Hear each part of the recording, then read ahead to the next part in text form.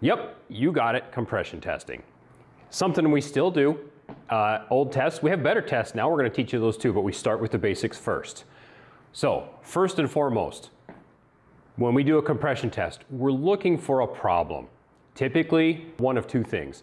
Either we know there's a problem with the engine, usually one or two cylinders, or we're looking for the overall health of the engine, um, like maybe the customer has requested a pre-purchase inspection with the compression test.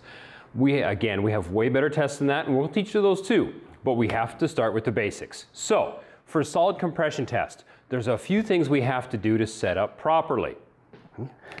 One of the first things we should do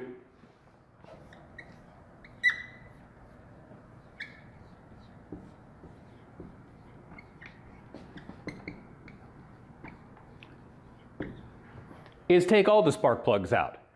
We don't just pull one or two, we have to take all. On a four cylinder, we're gonna pull four plugs. Okay. Something else we have to do. We have to disable spark and fuel. This isn't gonna work very well if I get in there and that engine tries to start while I have this going on. Next up, ideally, I want to have the throttle blocked open while I do this. Not with that marker, I'm not.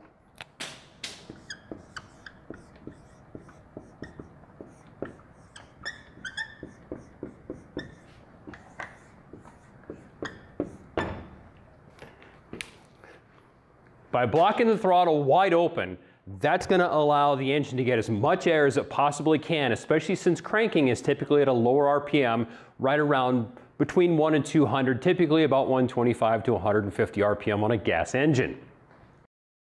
So let's see here, pulled the spark plugs, I disabled spark and fuel, I blocked the throttle wide open. Ooh, ooh, I know. I need to have stable voltage.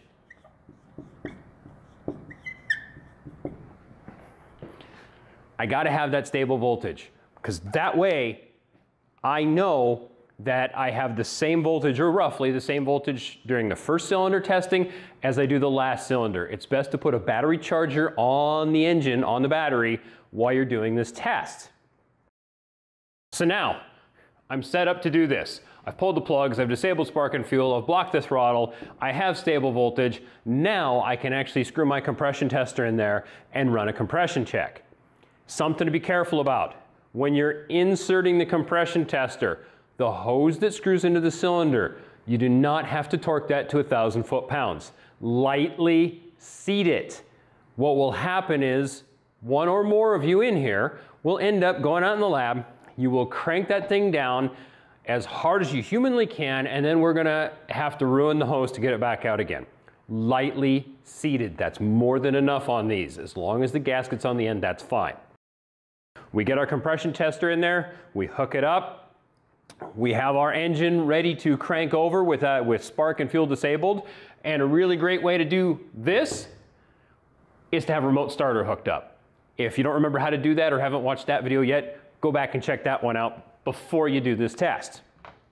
All right, now that we're hooked up and ready to go, let's get this off of here. We're gonna crank this thing over and we're gonna actually see what the compression is. Now, a lot of written material says we want four puffs. So you hear the engine, you'll hear it four distinct times kick over and then you'll stop. Realistically, watch the gauge and see what the numbers look like while you're doing this. When you hit the highest number or essentially you see it steady out, stop there. But make sure you pay attention how many puffs, I promise that's gonna make more sense when you actually do this. When you count how many puffs that takes, that is how many you're gonna do every cylinder on now. The key here is consistency. If you do one cylinder to four puffs, do every cylinder to four puffs.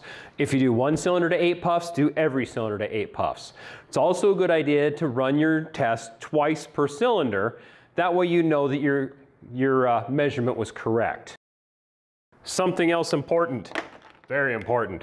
This should really only be done on a warm engine.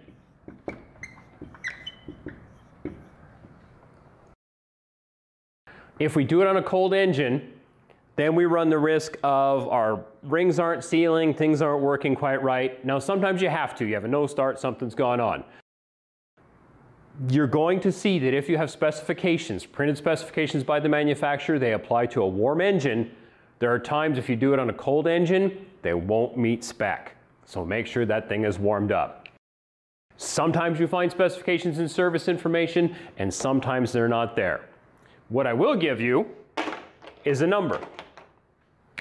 That number is 20%. So as long as we're within 20% of highest to lowest, then we're okay as far as our relative compression. If we exceed 20% from our highest cylinder to our lowest cylinder, then we got a problem we need to take care of.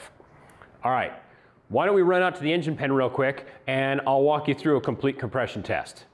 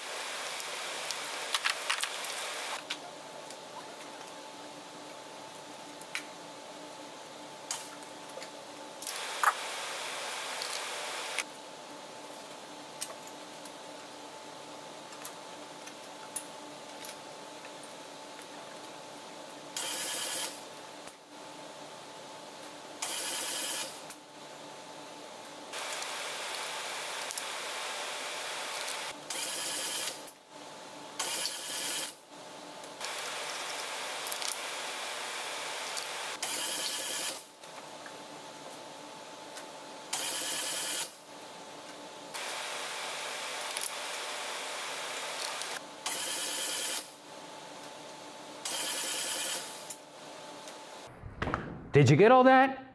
Too fast? More coffee. Oh, okay, fine. Let me slow it down. We'll just pick out the important parts real quick and then we'll come back in here for a second, all right?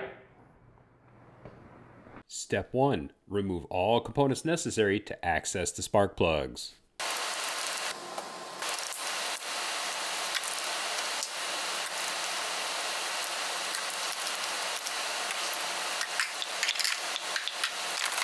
Step 2. Remove the spark plugs.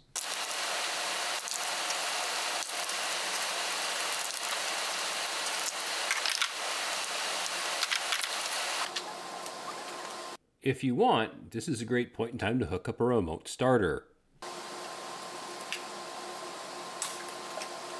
Now we're going to install the compression tester one cylinder at a time. Remember, you do not have to massively over torque this thing. You only want to put it in and lightly seat the hose into the cylinder. Whoops, almost forgot. Time to get the battery charger.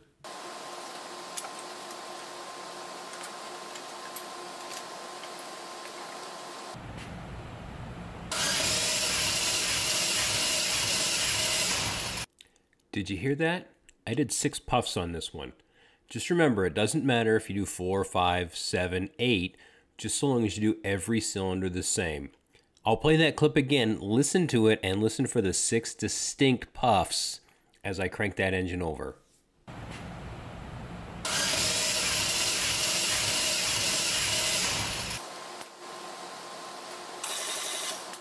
I'm testing every cylinder twice here just to make sure I have stable results, and most importantly, I'm writing them down. Don't think you're going to remember all these because you won't. So keep a written record as you perform the test.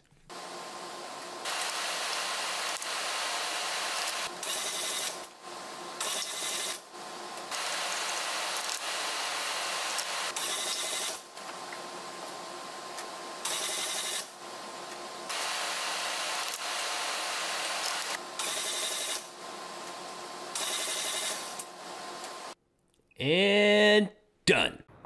Did you get all that that time? Okay. Now, like I said, I didn't block the throttle open. That vehicle has electronic throttle control or drive-by-wire.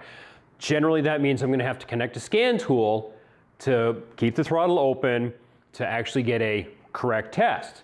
Now, that being said, that also means that now I have to go uh, do other ways to keep the spark and fuel from happening while I'm cranking it because I have to have the key on to run that through the scan tool. So we go back to relative. In this case, the numbers were acceptable and they were close enough together that I'm fine with them. If I had a big discrepancy or they were way out of line, then I might have to go back and do this a different way. So the numbers, what we got here. Cylinders one through four.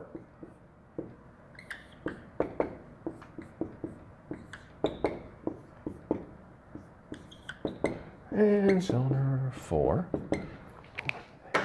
We had cylinder number one came in at 125 PSI or pounds per square inch. Number two, I ran two tests, one at 120, 125. I'm just gonna go with the highest. Number three, at 120 and 115, so I'll go with 120.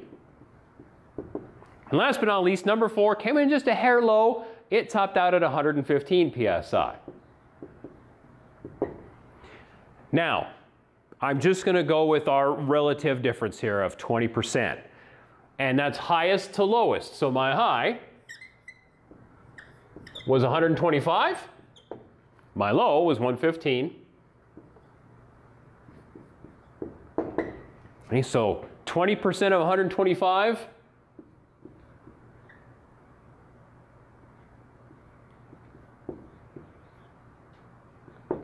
Well, that would be 25.